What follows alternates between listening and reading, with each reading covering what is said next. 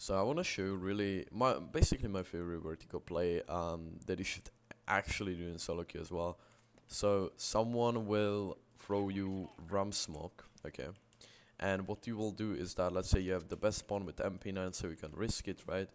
And what you will do is that you throw fake molly, which means you will not throw it off the pillar like normally on ramp, but you will throw fake molly like this, so you can drop down and with this fake molly, you will also throw this flash and drop down with the flash. That means the flash pops when you dropped. That means if they're right here, they'll get blind. And they'll not hear the step, right? And then you immediately pushing into the smoke, right? This is pretty huge. I really like this play a lot. So if I will place this ramp smoke, then you will throw flash like this, boom, jump over and killing everyone, right? So that's pretty